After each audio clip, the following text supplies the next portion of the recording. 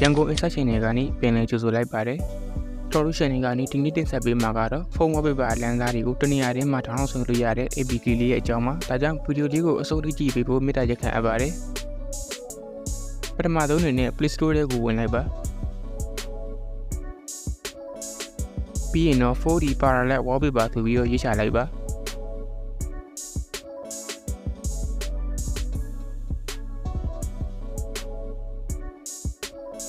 ဒီ software လေးကို download ဆဲပြီးတော့ install လေးတင်ပေးလိုက်ပါ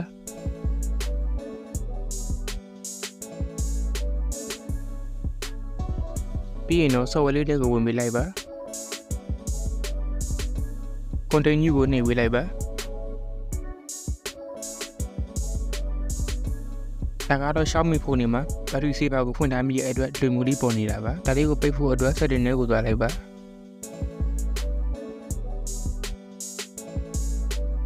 ပြီးရင်တော့အောက်ဆုံးကိုဆဲပြီးတော့ battery ထဲကိုဝင်လိုက်ပါ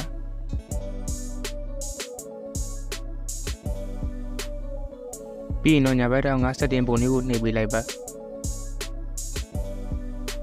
ပြီးရင်တော့အောက်ကိုဆွဲလိုက်ပြီးတော့ ABB battery saver ဆိုတာလေးကိုနှိပ်ပြီးတော့ဝင်လိုက်ပါ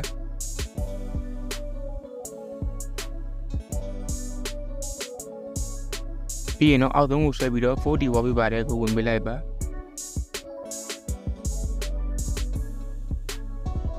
အပေါ်ဆုံးက no ဆိုတာလေးကိုရေးပေးလိုက်ပါဒါဆိုတော့ရပါပြီ software တွေကိုပြန်ပြီးဝင်လိုက်ပါကြာရတဲ့ 4D ဆိုကိုနှိပ်လိုက်ရင် wallpaper အရှင်လေးတွေကိုတွေ့ရမှာပါ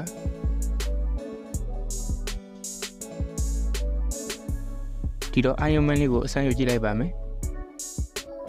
ဒီမှာရေးထားတာကဖုန်းလေးကိုဘယ်ညာအပေါ်လှုပ်လိုက်ရင် wallpaper ကလည်းလူမျိုးလိုက်ပြီးတော့လှုပ်နေမှာဖြစ်ပါတယ်ဒီလိုမျိုးလေးလိုက်ပြီးတော့လှုပ်နေမှာဖြစ်ပါတယ်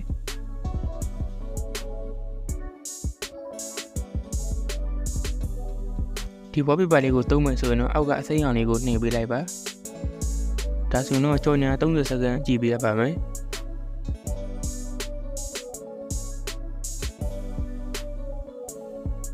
30စက္ကန့်ပြီးသွားရင်တော့ပေါ်ကတက်ရှိကလေးကိုနှိပ်ပေးလိုက်ပါပေါ်က set wallpaper ဆိုတာကိုနှိပ်လိုက်ပါပြီးတော့ဒီ wallpaper ကိုဖုန်း screen မှာထားမှလား lock screen မှာထားမှလားဆိုတာကိုစိတ်ကြရွေးလို့ရပါတယ်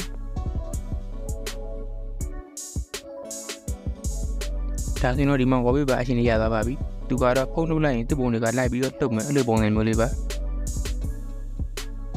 tutorial channel လေးကို subscribe လေးနှိပ်ပေးထားပါဦးနော်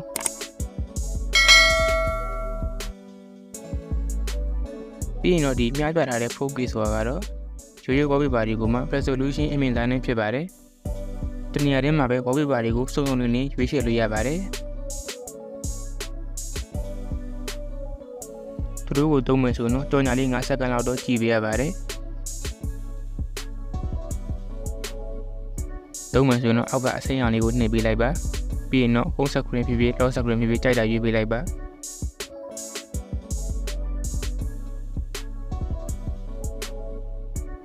ဒါပြီးရင်တော့သူကဒီမှာ category လေးတွေနဲ့ခွဲပြထားပါတယ်ပြီးရင်တော့ဒီမှာရုပ်ရှင်နဲ့ပတ်သက်တာဂိမ်းနဲ့ပတ်သက်တာတွေကိုသူတို့ကသိချာလေးကိုတည်တံ့ခွဲပေးထားပါတယ် ဒီမှာရုပ်ရှင် category မှာဆိုရင်တော့သူကဆောင်းအရှင်ငါးတွေကိုပို့ပြီးတော့များများလေးထည့်ပေးထားပါတယ်ပြီးရင်တော့ဒီမှာဂိမ်းနဲ့ပတ်သက်တဲ့ဟာတွေအစုံထည့်ပေးထားပါတယ်ဒီနေရာမှာကာတွန်းပုံဆိုရင်လည်းကာတွန်းပုံတခြားလေးကိုခွဲပေးထားပါတယ်ဒီတော့ဒီဗီဒီယိုလေးနဲ့ပတ်သက်ပြီးတော့မရှင်းတာရှင်းပြပြနောက်တော့သိချင်တဲ့အကြောင်းအရှင်းပြပြ comment ထဲမှာရေးပေးခဲ့လို့ရပါတယ်နောက်နေ့တွေမှာလည်းဒီလိုမျိုးအသုံးဝင်တဲ့ဗီဒီယိုတွေကိုနေ့စဉ်နေ့ဆက်ပေးနေအောင်ပါမို့ load တဲ့ channel လေးကို like and subscribe နေတာကိုမမေ့နဲ့အောင်နော်